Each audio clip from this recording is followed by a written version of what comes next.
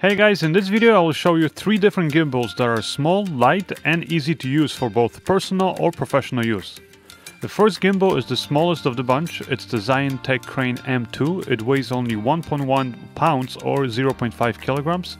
It can handle small cameras such as action cams and smartphones up to 1.6 pounds or 0.7 kilograms. It has a battery that lasts 7 hours and is uh, almost half the price of the remaining two gimbals. The next gimbal is the DJI Ronin SC, it's significantly bigger and weighs twice as much as the first gimbal at 2.4 pounds or 1.1 kilograms. It can also take a bigger payload though, uh, at a max of 4.8 pounds or 2.2 kilograms. It also has a much longer battery life of 11 hours. The last gimbal is from Moza and it's the AirCross 2. It's almost identical in size to the DJI Ronin SC and weighs just over 2 pounds or 0.9 kilograms. Yet it can carry the biggest camera load of 7.05 pounds or 3.2 kilograms. It also has the longest battery life up to 12 hours. All gimbals come with a travel case and they all have an app that you can install on your Android or Apple phone. They're very similar in operation and have identical modes such as uh, the all off mode, the pan follow mode, uh, pan and tilt follow, and POV mode where the gimbal will follow in all axes. All three gimbals even have the vortex mode that allows you continuous 360 degree barrel shots. Plus, all three gimbals have tracking mode where you can have the gimbal automatically follow a person or object in the shot. There is also a fun little feature that is only available on the Moza AirCross and the DJI Ronin SC where you can point your phone and have the gimbal in real time follow the motion of your phone. I found this to be a bit more responsive on the Moza AirCross 2. Through the apps for each gimbal you can configure the smoothness versus responsiveness of each gimbal, plus adjust a whole bunch of settings and remotely operate the gimbals. All the gimbals are built well and all offer locking axes so it makes balancing and traveling with them easier. Now I'm gonna let you guys take a look at some of the test footage I shot with each gimbal. Hit it! That's what I'm talking about. Wait! Okay, now, from the beginning. Hit it, boys.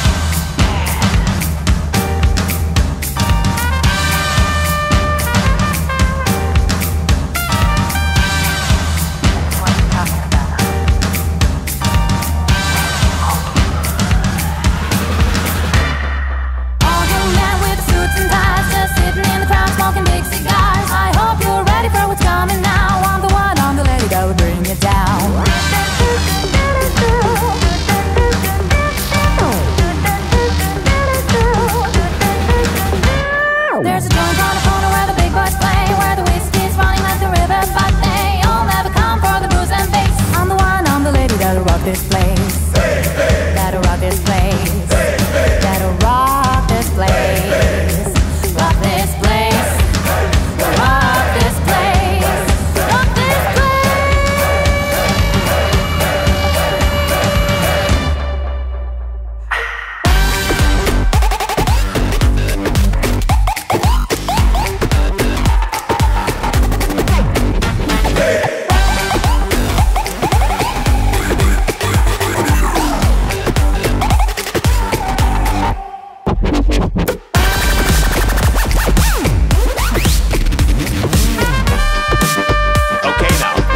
From the beginning.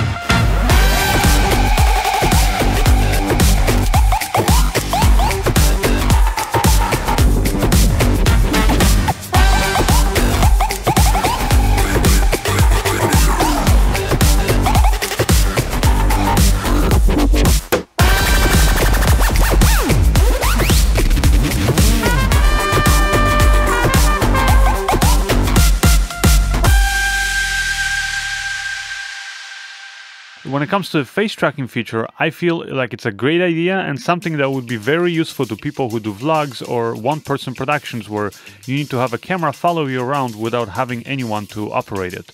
Unfortunately, none of these gimbals have that feature perfectly working. If you are in the shot and don't move too fast, then it's okay. But the second you move sudden moves, or if you turn around, then all the gimbals will have problems tracking your face again. So, which gimbal is the best? I think if you want something that is smallest, lightest and easiest to travel with, but also something that will work with not just a small mirrorless camera but also action cams or smartphones, then go for the Zhiyun Tech Crane M2. Now, if you don't care about shooting on a phone and want something that is still fairly light but can handle a mid-sized mirrorless camera and maybe even a follow focus, then go for the DJI Ronin SC or the Moza Aircross 2.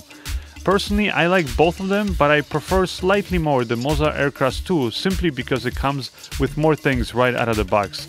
Plus, it can also handle the most weight. But please let me know what you guys think is the best gimbal and why by leaving me a comment down below. Also, don't forget to check out my website tomantosfilms.com for more info on these gimbals as well as other gear reviews and filmmaking tutorials. My name is Tom Antos and I'll see you in the next one. Bye!